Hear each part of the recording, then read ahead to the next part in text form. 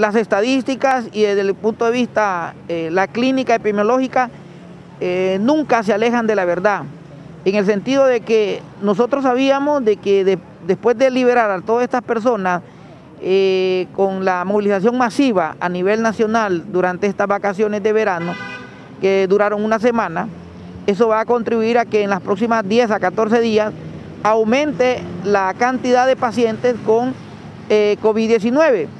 Esto probablemente va a desencadenar un colapso en el área de la salud pública. ¿Por qué? Porque la gran mayoría de las personas, podríamos decir casi el 70% de las personas, buscan la asistencia en las instituciones públicas.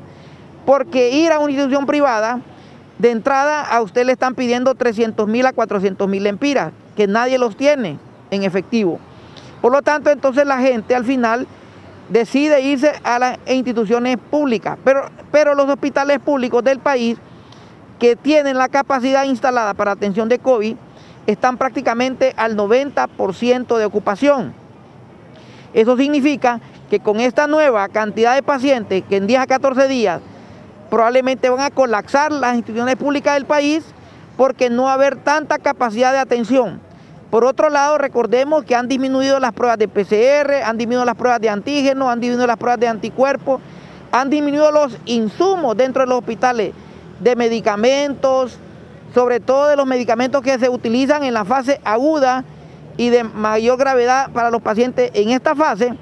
Al no tener los medicamentos, entonces la cantidad de personas que pueden llegar a fallecer y a perder su vida aumenta indudablemente. Todas estas eh, consecuencias son por las malas estrategias, por la mala gestión que han tenido las autoridades, al no tomar en consideración el aspecto técnico científico en las tomas de decisiones que son oportunas y basarse más que todo en elementos políticos, elementos económicos que al final van a deteriorar más la economía del país y van a colapsar las instituciones de salud que por cierto están muy mal. Recuerde que los insumos en el sistema de salud y sobre todo en el sistema nacional de salud eh, no son eh, infinitos, se consumen, se gastan. Y si las autoridades eh, no toman en consideración en la gestión de manera oportuna hacer las compras de estos insumos, indudablemente que al gastarse, entonces genera que se compren de manera directa por la misma urgencia y eso entonces genera ganancias para otras personas. Siempre buscan la manera de cómo generar ganancias a costa del sufrimiento, del dolor y de las muertes del pueblo hondureño. Y eso no es posible. Por eso hay que hacer cada vez las denuncias respectivas. Porque si hubiera una buena gestión, sabiendo que la población se iba a liberar para una movilización masiva a nivel nacional y que eso condiciona un aumento en la curva de manera exponencial de pacientes infectados con COVID-19, teníamos que tener de manera preventiva ya los insumos necesarios en los hospitales, las camas disponibles, el recurso humano disponible y sobre todo las pruebas. Las pruebas de PCR, que es la prueba molecular, que es la más fidedigna porque tiene alta confiabilidad, sensibilidad y especificidad, y también las pruebas de antígeno, ya que para este tipo de manejo de pacientes, las pruebas de anticuerpos no funciona para nada. Más desde el antígeno y la PCR, que es la prueba de eh, polimerasa en, cadena, que es la que más efectiva es para detectar los casos, que aún sin síntomas eh, podemos detectarlos. Ya cuando tiene síntomas, pues eh, hay que hacerle entonces el antígeno. Y tampoco tenemos una gran cantidad disponible en las instituciones. Por lo tanto, hay que tomar en consideración que la población en este momento está muy vulnerable. Van a aumentar las muertes por COVID-19 en esta segunda semana eh, después de que ha pasado toda esta Semana Santa. La vacuna, debemos de explicarle a la población en general, las vacunas no van a proteger contra el COVID-19.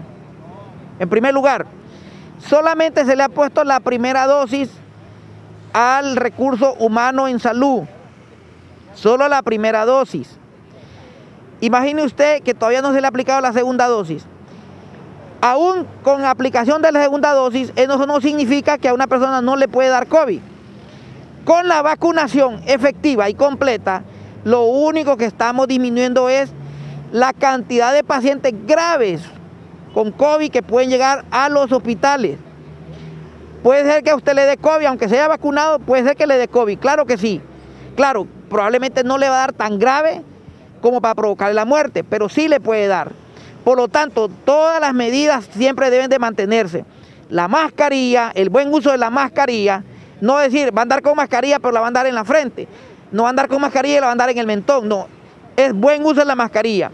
Su lavado frecuente de manos por 20, 30 segundos con agua y jabón o con gel y alcohol. No solamente con alcohol, gel y alcohol. Y por otro lado, mantener en lo posible las, eh, eh, evitar las aglomeraciones de personas, porque ya sabemos en la, en la situación como está ahorita la pandemia, que todo mundo se considera que tiene COVID-19. Todo mundo se considera que tiene COVID-19, por lo tanto, tomar las precauciones, tanto cuando sale de su hogar como cuando regresa de su hogar. Y eso va a disminuir la incidencia de COVID-19. Pero todas estas acciones no deben de de apartarse ni terminarse a pesar de que usted se vacune, porque la vacuna no significa que ya no le va a dar COVID. Sí le va a dar, pero probablemente no tan grave como le hubiera podido dar si no tuviera la vacuna.